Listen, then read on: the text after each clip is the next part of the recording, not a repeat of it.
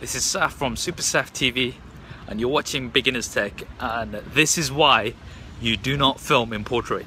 Got it?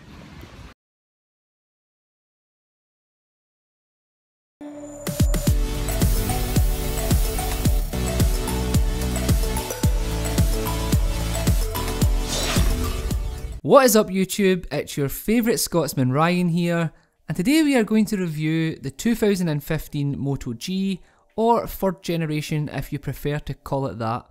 The Moto G has always been a solid performing budget device but one thing that annoyed me about last year's version was how slippery the device was and how many fingerprints showed up on my backplate. Well this year Motorola have definitely upped the game again and although the design is pretty much identical Motorola have made a few changes like the awesome textured plastic backplate which I love the feel of and also the new metal strip where the camera sensor is. As I mentioned in my unboxing video, the back cover and metal strip are customizable via Motomaker so you have plenty of choices and it's great to see this option on a budget device. Overall it feels super comfortable to hold and its overall form factor makes one-handed use a breeze and perfect for anyone with small hands.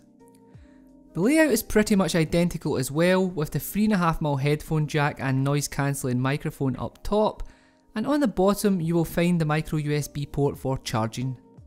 On the right hand side you will find the volume buttons and that awesome textured power button and on the front up top you will find the earpiece, sensors and a 5 megapixel selfie camera and along the bottom your microphone and single speaker which does sound better than last year's ever so slightly, as long as you don't crank it up too high or it will start to distort. The display is the same 5 inch 720p panel we saw last year, and I must say it looks pretty good. I could easily watch content on it with no issues, but the colours just don't pop at all and are pretty undersaturated. The viewing angles aren't the greatest either for an IPS display, but for a device in this price bracket, you can hardly complain and it is definitely usable. The back cover on the Moto G is removable and taking it off reveals the SIM and micro SD card slot, but take care when you are putting this back on and make sure you do it properly or the IPX7 rating will be useless. Also be sure to check out my water test video to see how waterproof the Moto G really is.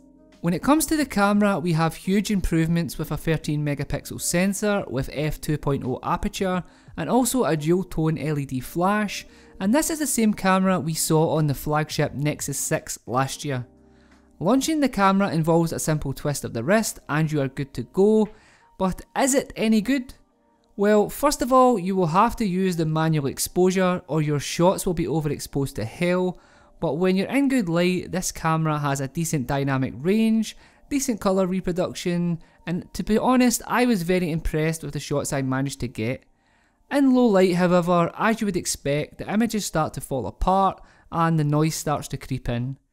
Let me know what you think of the images down below and whether you are happy with what you are getting for this price range.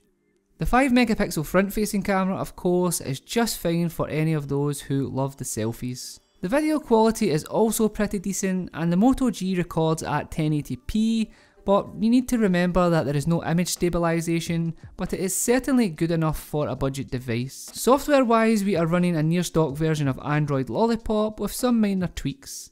Although this packs a lower end Snapdragon 410, the experience is smooth and fast. Remember I have the 2GB variant, but I can honestly say performance wise this keeps up with many higher end devices.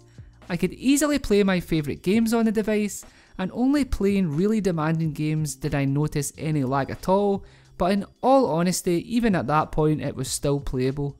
When it comes to battery life, the Moto G is in beast mode, and you can easily get 2 days out of this device on a single charge. Some days I was achieving over 7 hours of screen on time, so you definitely have no worries when it comes to this. So that pretty much rounds up my review of the 2015 Moto G, or fourth generation, whichever you prefer to call it. And I am very impressed with what Motorola have to offer this year with this budget device.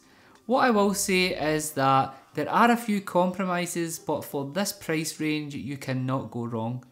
There are a few features that I did miss out in the review, and that was only due to the fact that I covered them in my unboxing and first impressions video and I have left that and my water test video linked down below so definitely check them out if you get a chance.